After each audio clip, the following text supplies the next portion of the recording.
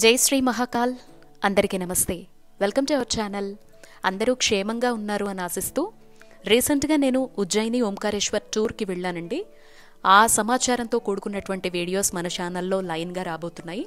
So ప్రతి video కూడా skip చేయకుండా లాస్ట్ వరకు చూస్తారు అని ఆశిస్తూ ఈ వీడియోలో మీరు చూడటానికైతే అంటే నేను టూర్కి స్టార్ట్ అయ్యే వరకు జరిగినటువంటి ప్రాసెస్ అంతా అంటే నేను ఎలా ప్రణాళిక వేసుకుంటాను ఎలా ప్లానింగ్ చేసుకుంటాను ఎలా ఒక పద్ధతి ప్రకారం రాసుకొని బడ్జెట్ అనేది కొన్ని రోజుల ముందు నుంచి వేసుకుని దానికి ప్రిపేర్ అవుతాను అనేటువంటి విజువలైజ్డ్గా చూస్తారు. ఇక నేను చెప్పేటువంటి మాటలు కూడా మీకు బాగా వరకు ఉపయోగపడతాయండి.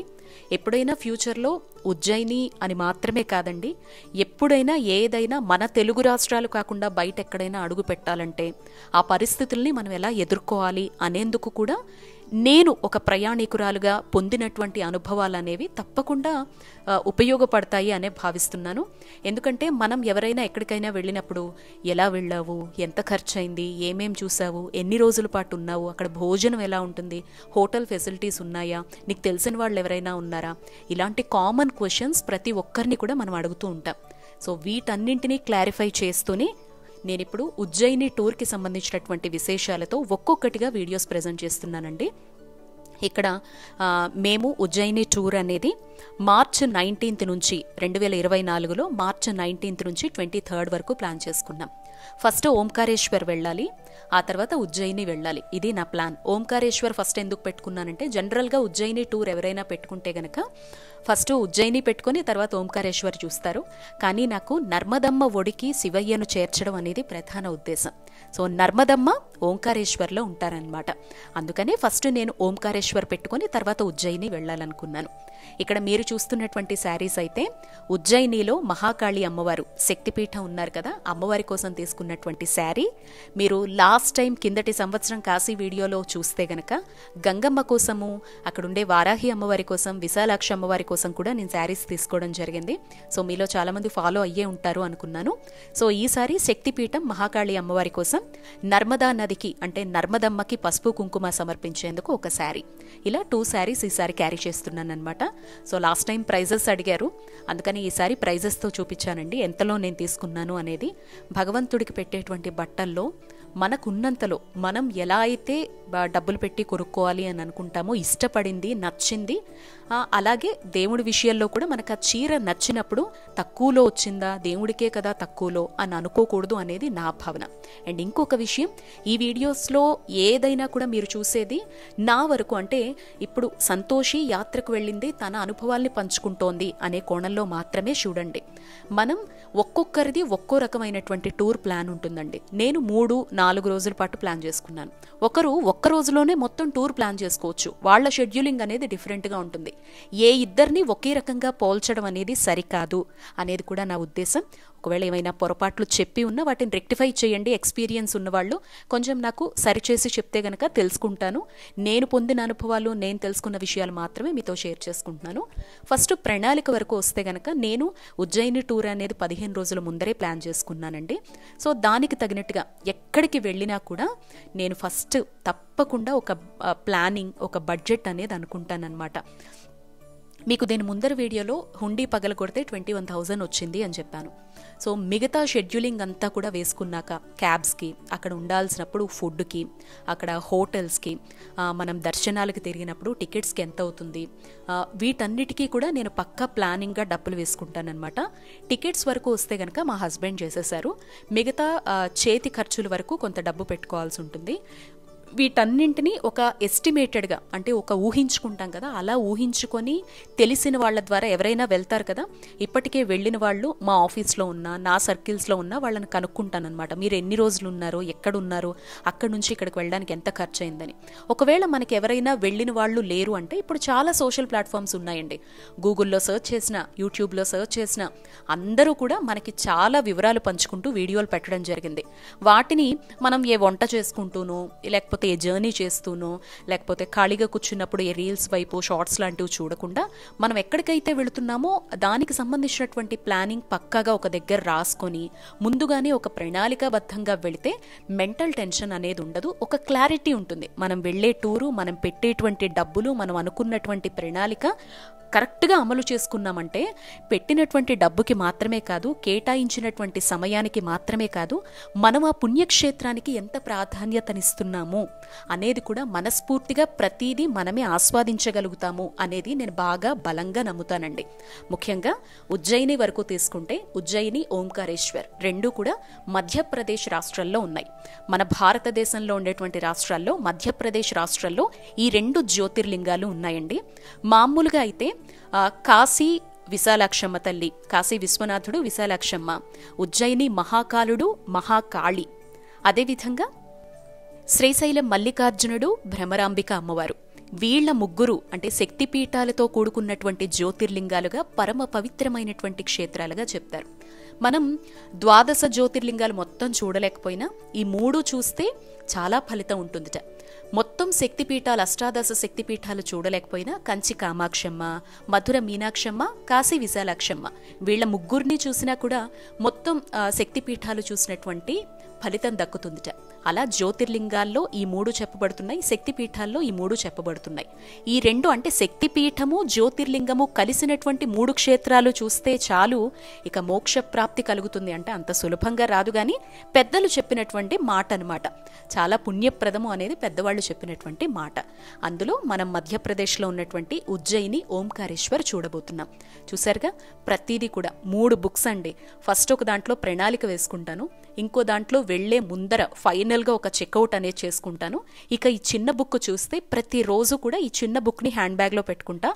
అప్పటికప్పుడు ఆటోకి యాభై రూపాయలు ఇచ్చినా కూడా ఆ బుక్లో రాసుకుంటూ ఉంటానన్నమాట. నేను ఎంత వేసుకున్నాను ఈరోజు ఖర్చు? నాకు ఎంత అవుతోంది? నాకు ఎంత మిగులుతోంది? దీన్ని నెక్స్ట్ డే ఎంత పెట్టగలుగుతాను? అనేది తప్పకుండా నేను ప్రణాళిక అనేది వేసుకుంటానండి. డబ్బుని బయటకు వచ్చినప్పుడు ఇబ్బంది లేకుండా ఎంత ఖర్చు పెట్టాలి అనేటువంటి భావనలో నేను ఉంటానో అదేవిధంగా ఎక్కడ ఎంత పెట్టాలి మనం ఎంత పెట్టాము అనేది కూడా నేను ఖచ్చితంగా ప్రణాళిక అనేది వేసుకుంటాను. యాజ్ ఇట్ ఫాలో అవుతాను. ఇప్పటి వరకు వేసుకున్నటువంటి ప్లానింగ్ ప్రకారమే ఎక్కడికైనా వెళ్ళగలుగుతున్నాను అనమాట జనరల్గా మ్యారేజ్ అయిన తర్వాత బాబు పుట్టిన ఫైవ్ ఇయర్స్ వరకు కూడా బాబు ప్రతి పుట్టినరోజుని ఎవ్రీ జాన్లో కూడా జాన్ థర్టీ ఫస్ట్ బాబు పుట్టినరోజు. సో ప్రతి పుట్టినరోజుకి కూడా ఒక పుణ్యక్షేత్రానికి వెళుతూ వచ్చేవాళ్ళం. నేను మా హస్బెండ్ బాబు కలిసి. సో ఆ తర్వాత ఆయన కొంచెం వర్క్స్లో బిజీ అయిపోవడం నాకు నా ప్రొఫెషన్ పరంగా చేంజెస్ అనేవి రావడము. సో ఆ తర్వాత వచ్చిన సిచ్యువేషన్స్ కూడా మనందరికీ తెలుసు కదా వాతావరణంలో కూడా చాలా మార్పులు వచ్చేసాయి.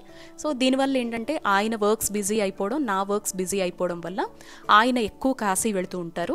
సో నేనేంటంటే ఇలా చూడాల్సినటువంటి జ్యోతిర్లింగాలు ఈ మధ్య వ్రతాలు స్టార్ట్ చేసిన తర్వాత ఒక్కొక్క దగ్గరికి వెళ్తాము అనేటువంటి భావనలో నాకుండే లీవ్స్ పరంగా నేను వెళ్ళి వచ్చేస్తున్నాను అనమాట చాలామంది ఏంటంటే హస్బెండ్ వెనకాల వస్తేనే మేము వెళ్ళగలం అబ్బాయి వెనకాల వస్తేనే మేము వెళ్ళగలం అలా అనుకుంటారు అలా అనుకోవాలి కూడా.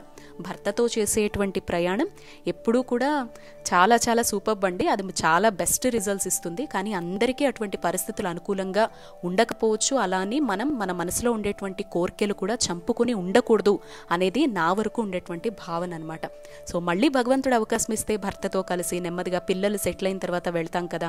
ఇలా అనుకొని ప్రజెంట్ అయితే మాత్రం మా ఆయన ఎంకరేజ్ చేస్తూ ఉన్నప్పుడు వెళ్ళు నేను అన్నీ చూసి పెడతాను నేను అన్నీ అడ్జస్ట్ చేసి పెడతాను అని మనకు ఒక ధైర్యాన్ని ఇచ్చినప్పుడు సపోర్టివ్ అనేది ఇంట్లో ఫ్యామిలీ మెంబర్స్కి ఉంటే గనక తప్పకుండా నాలాగైతే ప్లాన్ చేసుకోవచ్చండి. ఈ పరిస్థితులు అందరికీ అనుకూలంగా ఉండకపోవచ్చు. దయచేసి మీరు మాటలు విని వేరేగా అనుకోవద్దు. అదేవిధంగా ఎవరు కూడా అన్యదా భావించొద్దు. బాధపడద్దు మెయిన్లీ ఎప్పుడంటే మనం ఇలాంటి వీడియోస్ చూసినప్పుడు ఎవరినైనా చూసినప్పుడు అయ్యో మనం ఎక్కడికి వెళ్ళలేకపోతున్నామే మనం అలాగే ఉండిపోతున్నామే అని అనుకుంటాం. భగవంతుడు ఎప్పుడు ఎవరికి అవకాశం ఇస్తాడో మనం చెప్పలేమండి. ఇప్పుడు నాకు మ్యారేజ్ అయిన తర్వాత లెవెన్ ఇయర్స్కి ఈ ఇప్పుడు ఇలాంటి అవకాశం అనేది వస్తుంది. పెళ్ళికి ముందర నాకు ఈవెన్ తిరుమల వెళ్ళటం అనేది కూడా తెలియదండి మా పుట్టింట్లో ఉండేంతసేపు కూడా. సో ప్రతి ఒక్కరికి కూడా టైం అనేది వస్తుంది. ఆ టైం వచ్చినప్పుడు మనకి రాసి పెట్టి ఉన్నప్పుడు భగవంతుడు మన మనసులో ఉండేటువంటి సంకల్పాలు ఒక్కొక్కటి నెరవేరుస్తాడు. ఆయనకు తెలియదా మనం వజ్రాలు వైడూర్యాలు అడగట్లేదు. భవనాలు ఇంద్రభవనాలు అడగట్లేదు. తన దర్శనాన్ని మాత్రమే కోరుకుంటున్నాం అనేటువంటి మన మనసులో ఉండే నిజమైన సంకల్పం ధర్మబద్ధమైనటువంటి కోరిక ఎప్పుడూ కూడా మనస్ఫూర్తిగా విశ్వాసంతో ఉంటే గనక అది భగవంతుడి హృదయాన్ని తాకుతుందండి. కాకపోతే మనకి టైం రావాలంతే. ఆ టైం కోసం ఎదురు చూస్తే అన్ని సంకల్పాలు వాటంతట అవే తీరిపోతూ ఉంటాయని నేనైతే గట్టిగా నమ్ముతాను. సో మేము నైన్టీన్త్ మాకు మధ్యాహ్నం రెండున్నరకి ఫ్లైట్ అండి. మార్చి నైన్టీన్త్న సో ఇక్కడ నుంచి ఇండోర్ వెళ్ళాల్సి ఉంటుందన్నమాట. ఎవరైనా ఫ్లైట్లో ప్లాన్ చేసుకుంటే గనక ఉజ్జయిని ఓంకారేశ్వర్ అనేది సో ఇండోర్ అనేది ప్రధానంగా ఉండేటువంటి ఎయిర్పోర్ట్. ఆ తర్వాత మనం అస్సాం కూడా వెళ్ళొచ్చండి. అస్సాం నుంచి వెళితే లేట్ అయిపోతుంది అండ్ లాంగ్ డిస్టెన్స్ అనమాట ఇండోర్ అనేది ఇటు ఓంకారేశ్వర్ ఫస్ట్ వెళ్ళాలన్నా ఉజ్జయిని ఫస్ట్ వెళ్ళాలన్నా సెంటర్ పాయింట్. ఇండోర్ అనేది మధ్యప్రదేశ్ రాష్ట్రంలో ఒక జిల్లా. ప్రధానమైనటువంటి సిటీ అనమాట ఇప్పుడు మనకి మన తెలుగు రాష్ట్రాల్లో ఒక ఆంధ్రప్రదేశ్ తీసుకున్నాం అనుకోండి వైజాగ్ ప్రధానమైంది విజయవాడ ప్రధానమైన సిటీ ఇలా ఎలా అనుకుంటామో మధ్యప్రదేశ్ రాష్ట్రాల్లో ఇండోర్ అనేది ఇంటర్నేషనల్ ఎయిర్పోర్ట్ అండ్ ఉజ్జయినికి ఓంకారేశ్వర్కి మధ్యలో ఉంటుందన్నమాట. ఇటు ఓంకారేశ్వర్ వెళ్ళాలన్నా ఎనభై కిలోమీటర్లో వెళ్ళిపోవచ్చు. అటు ఉజ్జయిని జ్యోతిర్లింగానికి వెళ్ళాలి అనుకున్నా కూడా ఒక ఎనభై నుంచి వంద కిలోమీటర్ల డిస్టెన్స్లో వెళ్ళిపోవచ్చు అనమాట సో మేము అందుకే ఇండోర్ ఎయిర్పోర్ట్కి చేసుకున్నాం. బస్సు త్రూ వెళ్ళాలనుకున్నా ట్రైన్ త్రూ వెళ్ళాలనుకున్నా చాలా ట్రైన్స్ అనేవి ప్రధానమైనటువంటి నగరాల నుంచి మీరు నెట్లో సెర్చ్ చేస్తే మన ఇంట్లో చదువుకున్నటువంటి పిల్లలు ఉంటారు కదండి. వాళ్ళ ద్వారా మనకి ఇండోర్ వెళ్ళాలన్నా అస్సాం వెళ్ళాలన్నా డైరెక్ట్ ఉజ్జయిని వెళ్ళాలన్నా అక్కడ రైల్వే స్టేషన్స్ అన్నీ అందుబాటులో ఉంటాయన్నమాట. మీరు స్టే చేయాలన్నా కూడా ఇండోరే ప్రధానమైనటువంటి నగరం అండి. ఇక్కడ హోటల్ ఫెసిలిటీస్ భోజనం ఫెసిలిటీస్ అన్నీ కూడా బాగుంటాయి అన్నమాట ఇక్కడ స్టే చేసి ఇక్కడ నుంచి క్యాబ్స్ తీసుకొని ఉజ్జయిని ఓంకారేశ్వర్ చూడొచ్చు. సో నేను ఎలా ప్లాన్ చేసుకున్నానంటే పంతొమ్మిదో తారీఖు ఫస్ట్ ఇండోర్ వెళ్ళిపోయాం. అక్కడ హోటల్ ముందుగానే ప్లాన్ చేసుకున్నానండి. నేను ఇక్కడి నుంచే మొత్తం మనకి మేక్ మై ట్రిప్ అని గో అబేబో అని ఇలా చాలా చాలా ఆన్లైన్ ఫెసిలిటీస్ ఉన్నాయి కదా వాటి నుంచి మంచి రేటింగ్ ఉన్నటువంటి హోటల్ చూసుకున్నాను. చూసుకొని ఏసియో హోటల్ అని చెప్పి ఒక హోటల్ నేను విజయనగర్ కాలనీ ఇండోర్ సిటీలో విజయనగర్ కాలనీలో ఆ డీటెయిల్స్ అన్నీ కిందిస్తానండి హోటల్ అయితే చాలా చాలా బాగుందన్నమాట. సో మేము రెండున్నరకి స్టార్ట్ అయితే నాలుగున్నరకు అక్కడ రీచ్ అయ్యాము. అక్కడే ఆ హోటల్తో మాట్లాడుకున్నప్పుడే మీకేమన్నా క్యాబ్ ఫెసిలిటీస్ ఉన్నాయా అని చెప్పి వాళ్ళని అడగడం జరిగింది. సో వాళ్ళు క్యాబ్ ప్రొవైడ్ చేశారు. ఎయిర్పోర్ట్ నుంచి హోటల్కి చేరుకోవడానికి నాకు థౌజండ్ రూపీస్ అడిగారు. నేను ఇంటి నుంచి ఎయిర్పోర్ట్ హైదరాబాద్ ఎయిర్పోర్ట్కి వెళ్ళడానికి ఎయిట్ సిక్స్టీ రూపీస్ అయిందనమాట సో ప్రతిదీ కూడా ఇక్కడ నుంచి నేను ఏం చెప్పినా నాకు ఎంత ఖర్చు అయింది అనే దాంతో చెప్తానండి. ఇది ఒక ట్రైన్లో వెళ్ళామనుకోండి ఇండోర్ రైల్వే స్టేషన్కి వెళ్ళిపోతారు. బుక్ చేసుకున్నటువంటి హోటల్ హోటల్కి వెళ్ళిపోతారు. మనకి ఇండోర్లో ఎక్కడికి వెళ్ళినా కూడా ఓలా ఊబర్ ర్యాపిడో అన్నీ కూడా అందుబాటులో ఉన్నాయండి. మీరు అక్కడికి వెళ్ళి ఆ లొకేషన్స్ తెలుసుకొని హోటల్ లొకేషన్ వాట్సాప్లో పంపించమంటే పంపిస్తారు. హోటల్ మనం చూసిన తర్వాత రేటింగ్ చూశాక మేము అనుకున్నటువంటి కాస్ట్లో ఒకసారి వాట్సాప్లో మీరు రూమ్ ఎలా ఉంటుందో పంపియండి అని అడిగితే మనకు వాట్సాప్లో పంపిస్తారండి. ఇలా ప్రతిదీ కూడా మనం చక్కగా కాంటాక్ట్లో ఉండొచ్చు. అన్ని ఫెసిలిటీస్ ప్రెజెంట్ మనకు ఉన్నాయన్నమాట. ఇక్కడ లాస్ట్ ఇయర్ మా మరిది వాళ్ళు ఉజ్జయిని వెళ్ళారు. సో వాళ్ళు ఇండోర్లోనే స్టే చేశారు. వాళ్ళు ఉన్నటువంటి హోటల్ బాగుందా అని అడిగి ఆ డీటెయిల్స్ నేను తీసుకోవడం ద్వారా నాకు కొంచెం ఈజీ అయిందనమాట ఆ డీటెయిల్సే కింద మీకు డిస్క్రిప్షన్లో మెన్షన్ చేస్తానండి. ఎప్పుడైనా ఎవరైనా ప్లానింగ్ చేసుకుంటే నా తరపునైతే పూజార్ల నెంబర్ల నుంచి క్యాబ్స్ నెంబర్స్ నుంచి హోటల్స్ నెంబర్స్ నుంచి ప్రతిదీ నేను సౌకర్యవంతంగా ఎలా అయితే వెళ్ళానో ఆ ఏర్పాట్లు దానికి సంబంధించినటువంటి విశేషాలు మాత్రమే పంచుకోగలనండి. సో ఎందుకంటే నా జాబ్ వైజ్ నాకు టైం మేనేజ్మెంట్ అనేది చాలా ఇంపార్టెంట్. ట్రైన్లోనూ వెళ్ళగలను. కానీ ట్రైన్కి మనకి ఫార్టీ ఎయిట్ అవర్స్ జర్నీ పడుతుంది మధ్యప్రదేశ్ వెళ్ళాలంటే. రెండు రోజులు నాకు ట్రైన్లోనే గడిచిపోతే రావడానికి వెళ్ళటానికి లీవ్స్ అనేవి ఇవ్వరు మాకు ఆఫీస్లో. సో దానికి తగ్గట్టుగా నా బడ్జెట్ ప్లానింగ్ అయినా టూర్ ప్లానింగ్ అయినా ఉంటుంది. నాలాగే సౌకర్యవంతంగా వెళ్ళాలి అనుకునే వాళ్ళకు మాత్రమే నా వీడియోస్ ఉపయోగపడతాయండి. మిగతాదంతా దర్శనాలు అంతవరకు మాత్రమే మీకు యూజ్ అవ్వచ్చు. సో దయచేసి నేను చెప్పినటువంటి మాటలను అర్థం చేసుకోవడానికి ప్రయత్నించండి. అండ్ మనం ఇండోర్ అయితే చేరుకున్నామండి. నైన్టీన్త్ ఈవినింగ్ ఫోర్ థర్టీకి నేను ఇండోర్ చేరుకోవడం జరిగింది. ఆ రోజు రాత్రంతా అక్కడే స్టే చేశాను. పొద్దున్నే ఆరు గంటలకి ఓంకారేశ్వర్ స్టార్ట్ అయ్యాను. హోటల్ వాళ్ళే నాకు చక్కనైనటువంటి క్యాబ్ అనేది ప్రొవైడ్ చేశారు. నాకు హోటల్కి ఒక రోజుకి రెండు వేల ఐదు వందల రూపాయలు అనమాట రాయల్ రూమ్ తీసుకున్నాను. ఎందుకంటే అమ్మ పెద్దది బాబు చిన్నోడు. వీళ్ళిద్దరిని మేనేజ్ చేస్తూ నేను ఉండాలి. సరిగ్గా రాత్రి కనీసం ఆరు గంటల నిద్ర లేకపోతే వీళ్ళిద్దరిని మేనేజ్ చేయడం కష్టమవుతుంది. అందుకే సౌకర్యం విషయంలో ఫుడ్ అయినా లేకపోతే పడుకునేటువంటి రూమ్స్ అయినా నేను సౌకర్యవంతంగా ఉండటానికి చూసుకుంటానన్నమాట. సో రెండు వేల ఐదు వందలు. ఈ వీళ్ళ దగ్గర వెయ్యి రూపాయల నుంచి కూడా రూమ్స్ అనేవి అందుబాటులో ఉన్నాయండి. పూర్తి డీటెయిల్స్ కోసం డిస్క్రిప్షన్లో అయితే డీటెయిల్స్ మెన్షన్ చేస్తాను. మీరెవరు ఎప్పుడు నేను తిరిగినటువంటి టూర్లకు సంబంధించి సమాచారం కావాలన్నా కొంచెం ఒకటి రెండు రోజులు అటు ఇటు అయినా ఇన్ఫర్మేషన్ అయితే తప్పకుండా ఇస్తాను. And moreover first description check చేయండి. డిస్క్రిప్షన్లో నేను మెన్షన్ చెయ్యకపోతేనే మీరు నన్ను పర్సనల్గా అడగచ్చు. అంటే ఒక్క పూజార్ల నెంబర్లు తప్ప. క్యాబ్ డీటెయిల్స్ అయినా హోటల్స్ అయినా కింద డిస్క్రిప్షన్లో మెన్షన్ చేసి ఉంటాను. లొకేషన్తో సహా. ఫస్ట్ చూడండి. చూసిన తర్వాతే ప్లాన్ చేసుకోండి. నెక్స్ట్ మనం ఇండోర్లో ఏం చేసాం ఓంకారేశ్వర్ ఎలా వెళ్ళబోతున్నాం అనే డీటెయిల్స్ వస్తాయండి. నమస్తే.